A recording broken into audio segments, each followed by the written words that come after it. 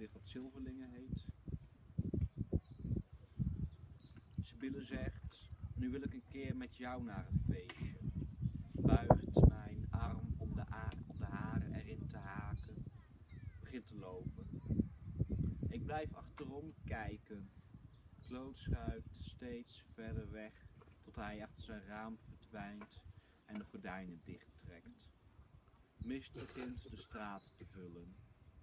Hopelijk zien passanten ons aan voor hun kluwen. Langzaam herinner ik me dat ik morgen vroeg nog iemand moet bellen. Vragen of hij zijn gordijnen wel open doet.